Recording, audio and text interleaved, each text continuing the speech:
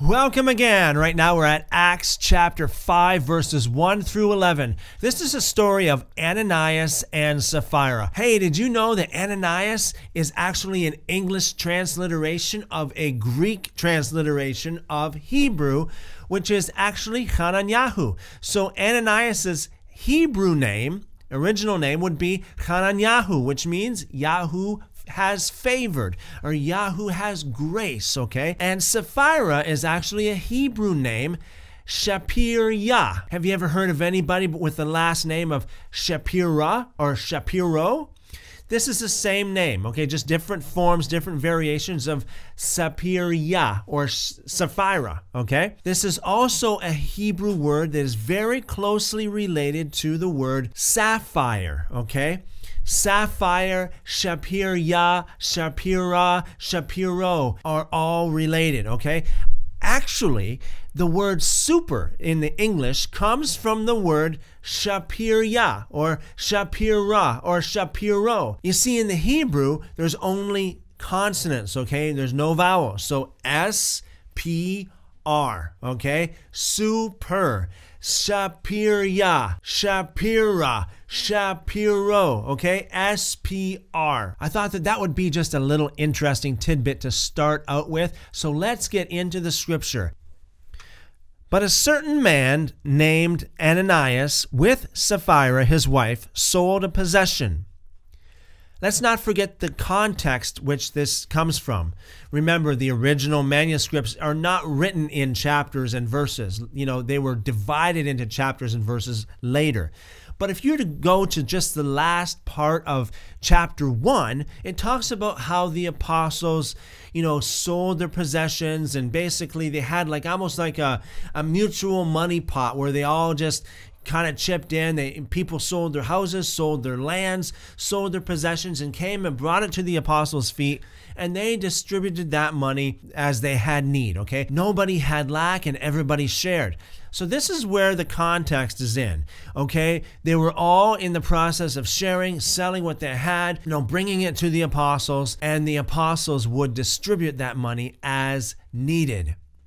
And Ananias and Sapphira did the same thing. You know, it says they sold a possession. Verse 1 again, but a certain man named Ananias with Sapphira his wife sold a possession and kept back part of the price. His wife also, being aware of it, then brought a certain part and laid it at the apostles' feet. But Peter said, Ananias, why has Satan filled your heart to lie to the Holy Spirit and to keep back part of the price of the land. While you kept it, didn't it remain your own? After it was sold, wasn't it in your power? How is it that you have conceived this thing in your heart? You haven't lied to men, but to God. Ananias, hearing these words, fell down dead. I've heard this happening even in modern times. I know it's not a very popular thing. That's why you don't hear about it on TV or hear about it on Christian radio. But I have heard of testimonies where people have just dropped dead. There's this one particular gentleman that I know of that was invited to speak at this church. As he was speaking at this church, he said the Lord led him to say, you know, such and such a pastor that's in this particular town or in this city, this particular pastor is preaching against this this church. And if that pastor doesn't stop it, God will strike him dead. And sure enough, the next Sunday, when the pastor got up in the pulpit to preach, he started speaking against that church and he dropped dead right in the pulpit. Well, you know, there was a recording of that other guy who actually prophesied that that would happen, and that recording just went like wildfire, okay? And these kind of things still happen today. You know, I've heard a number of other incidents just like Ananias and Sapphira as well. And they are out there and they do happen. So Ananias, hearing these words, fell down and died. Great fear came on all those who heard these things. Great fear came on all those who heard these things. I mean, this is not a church that just preaches the love and the grace of God. Oh, come to our church and you'll feel butterflies in your stomach as we tell you how much Jesus loves you. Okay, this is a church where God moved in mighty and powerful ways. We read just a few sessions ago how God healed a man. And now we've got God striking someone dead. Okay? And so it says, Great fear fell upon all those who heard these things. Let me ask you a question.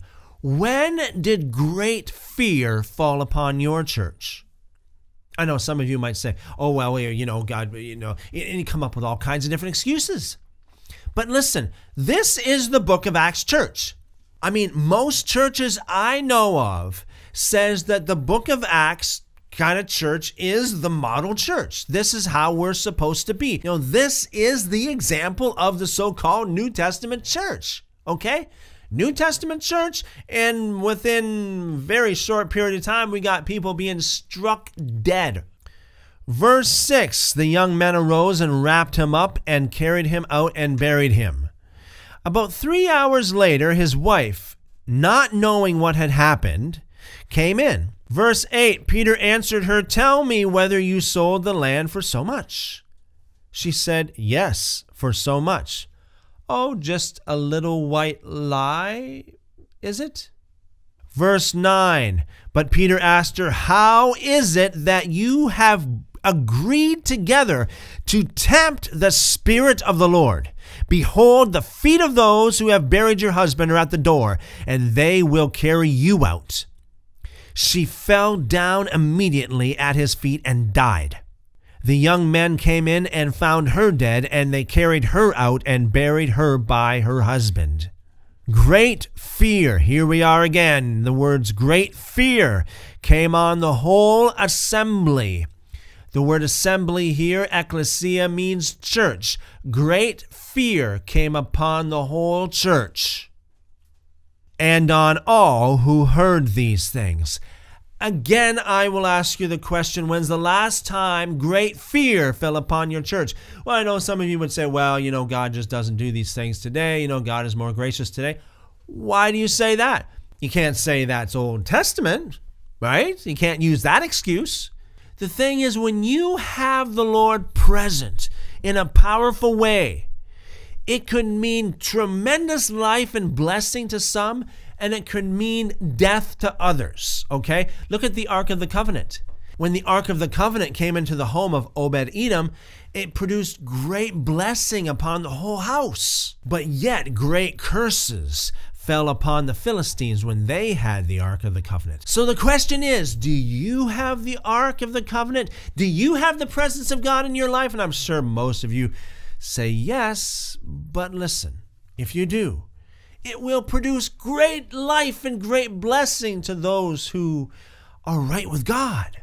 But it can also produce a very fearsome presence of God. This is New Testament, friends.